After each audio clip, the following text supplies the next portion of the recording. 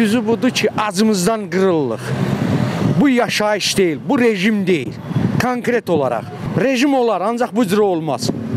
Rejim ham üçündür. Daha 10 nəfərin nazir kimi yaşayıb, qalan təbəqə acından qırılmaq demək deyil. 2021-ci ilin sonlarından başlayan ərzaq məhsullarındakı qiymət artımı günümüzə qədər davam etməkdədir. Bəzi məhsulların bahalaşması süni qiymət artımı olaraq dəyərləndirilsə də, bəziləri rəsmi təsdiqini də tapır. Gündəlik tələbat malları olan un, çörək və yağın fərq edilən qiymət artımından sonra ətin də qiyməti bahalaşıb. Məsələn, istehlakçıların bildirdiyinə görə kiloqramı 11 manat olan mal əti 13-14 manata, kiloqramı 14 manat olan quzu əti isə artıq 15-16 manata satılır. Kanal 13 olaraq məhz bu mövzuda Bakı şəhər əhalisi arasında sorğu keçirdik. Görəsən onlar sözü gedən qiymət artımını necə qiymətləndirirlər? Ümumiyyətlə son bahalaşmadan sonra əhali ət ala bilirmi? Ət almağını alıram, işləyirəm. Yəni işləməsəm e, qayna eləməz. Hər şeyi qaldırırlar. Cəmaatı istəyirlər yavaş-yavaş yaşam səviyyəsini aşağı salsınlar. Axırıncı dəfə evinizə əti nə zaman almısınız? Keçən ay. Büdcə imkan vermir. Prosta biz bu il Qarabağda qələbə çaldığımıza görə deyirik ki, yəqin bütün nə qədər var dövlətimiz var, qoy getsin Qarabağın inkişafına. Gələn il görək nə tər olacaq da, yaşayacaq, yaşamayacaq Allah bilir. Ətin də qalxmasına pisəm, unun da qalxmasına pisəm, nə, hər şeyə qalxmasına pisəm. Yəni bu kömrüyə bir balaca əl gəzdirsinlər. Kömrük hər şeyə keçən dəfə internetdə oxuyuruq ki, kömrük buraxmır da, yəni ucuz gətirənləri buraxmır keçməyə. Onlara biraz əl gəzdirsinlər, qoy cəmaata biraz yardım eləsinlər də.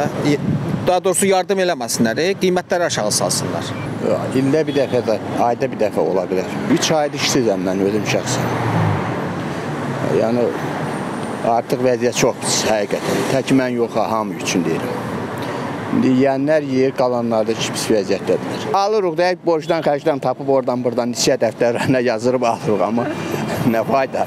Axırda da borc gələr gəlir ki, pulu verin, pulu çox adam telefon söndürür ki, qəssablara cavab verməsin. İndiki zamanda çörək 65 qəpik olanda, ət eləmirsə 14 manat olanda, 15 manat olanda onu kasıb necə alsın? ala bilməz. Dövlət baxmalıdır bu işə elə ki, dövlət bu işlərə qurumlanmalıdır, yol göstərməlidir elə ki. Yoxsa elə beləsinə hə elə necə gəldi yox olmaz. Qiymət artımı müşahidə olunur. Bax, ailənizə büdcəniz imkan verirmi? Ət ala bilirsinizmi? Zəifçilik əlbət ki, almaq olmur.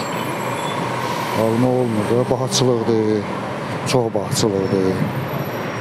E, 10 manatla əvvəl nə salırdın, indi heç nə almırsan. Qən neçəyə, çay neçəyə. Axırıncı dəfə sözün düzün deyəndə dünənlər dolma yemişəm, amma bilmirəm nə ətindən idi. Mən təqaüdçüyəm, dolanıram şükür Allaha. Razıyam hər şeydən. Ətin qalxması düzdür, xoşa gələn bir şey deyil.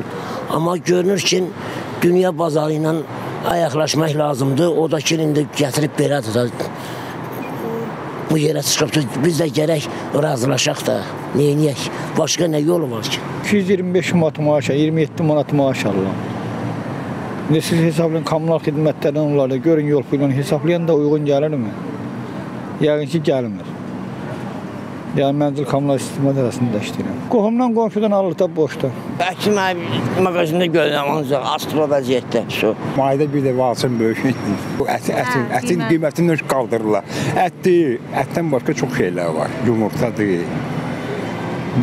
Bu da şey gedir də, monopoliya kimi. Belə də ayda bir kilo ala bilirəm. Xalqı dolanma, dolana bilmir axı millət. Elə ailə var ki, heç onun evinə bir qəpik pul girmir. Bəs olar? Elə hamısı kommunalını yecidir, aldığımız pensiyalar. Hə, neyniyək, necə dolanaq? 260 manat pensiya alır. Hə, özdə tək başınayam, kömək eləyənim yox. Hə, misal üçün bir qulluğa gedənim yox. Ancaq ki, elə ona möhtac qalıram. Çoxu da onun qış vaxtı, ən çox qış vaxtı. Hamısı kommunalniyə gedir. Bilmirəm onu qaldıran başına daş düşmüşlər. Hansı qaldırdı, bu günə qoydu. Bu, necə deyim, şəhəri.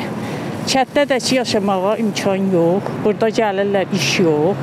Cavanlarımız dərbədər olub gedibdi. Bir dənə tək qardaşımın oğlu var.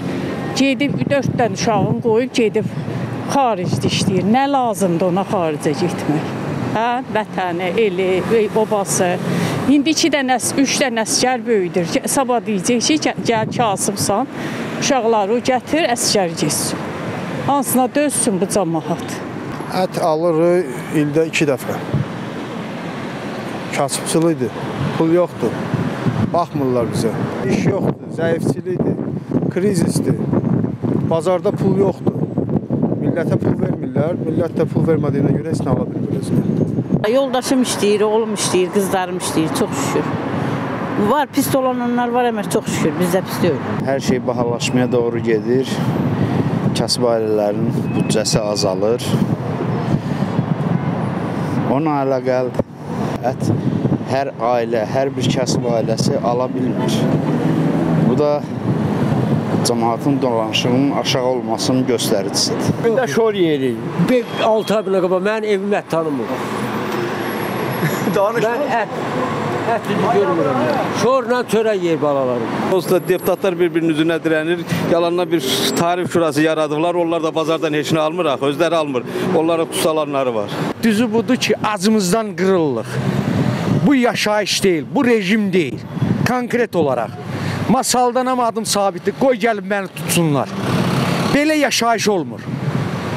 Ancaq yuxarılar yaşayır. Aşağı təbəqə acınır. Özüm qul bazarında dururam.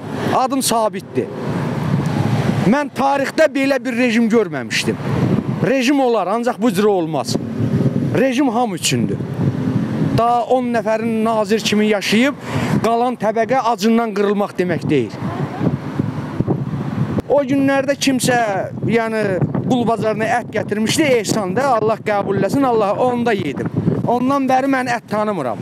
Bir normal şəkildə gedəm 2 kilo ət alam, aparam, üzr istəyirəm, 2 qız balam yesin, mən də onlarla nuşicanlıq eləyim, bismillah deyim, əlhəmdülillah deyim, ayağa qalxım sözü yoxdur.